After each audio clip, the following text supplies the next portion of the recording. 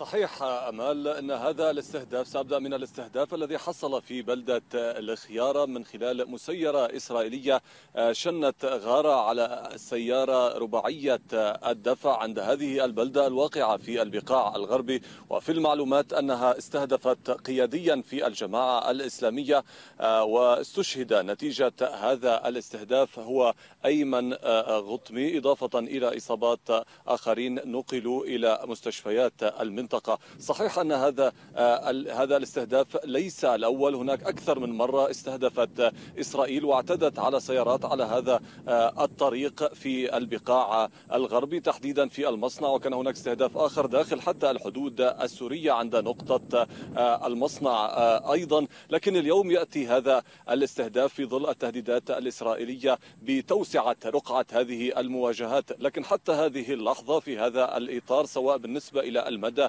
الجغرافي وطبيعة الاغتيالات لازلنا ضمن هذه قواعد المواجهة التي أرسيت منذ الثامن من أكتوبر والتي كان بنتيجتها ما أن توسع إسرائيل رقعة الاغتيالات في المدى الجغرافي. يرد حزب الله بأيضا استهداف وبتوسعة الرقعة الجغرافية والعمق الجغرافي لاستهدافاته وعملياته وأيضا طبيعة القواعد العسكرية المستهدفة كما حصل بآخر اغتيال للقائد العسكري العسكري الأرفع في الحزب منذ بدء هذه المواجهات أبو طالب وبالتالي منتظر أن يرد الحزب على هذه على هذا الاغتيال الذي حصل في شرق لبنان في بلدة الخيارة. أما بالنسبة إلى أوضاع الجبهة الجنوبية هنا فصحيح كما ذكرت أمال هناك ترقب كبير لاسيما في ظل التهديدات والتصريحات الكثيرة من مسؤولين إسرائيليين يتوعدون بها جنوب لبنان ويكثرون من هذه التهديدات.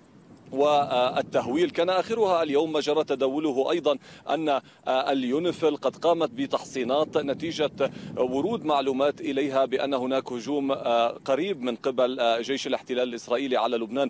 لكن مصدر في اليونيفيل نفى للعربي صحة هذه المعلومات وعلمنا أن كل ما تقوم به اليونيفيل اليوم هي زيادة أو إعادة إصلاح بعض المراكز التي كانت تضررت نتيجة القصف الإسرائيلي. الإسرائيلي في وقت سابق والتمرينات التي تقوم بها هي تمرينات اعتيادية تجريها كل فترة من الوقت. أما بالنسبة إلى الاعتداءات الإسرائيلية فواصلت مدفعية جيش الاحتلال الإسرائيلي قصفها لبلدة الخيام تحديدا في الحي الجنوبي. وكذلك ألقت بعض القنابل الفوسفورية المحرمة دوليا في بلدة العزية الواقعة بين بلدتي كفركلا ودير ميماس. أما الحزب فرد على الاعتداءات التي حصلت بالأمس بالأمس وتحديدا الغارة الجوية العنيفة على أحد أحياء بلدة ميس الجبل بقصف مبنى تجمع به عدد من الجنود والضباط وأعلن ذلك في بيان رسمي أنه حقق إصابات أو استهدف هذا المبنى بشكل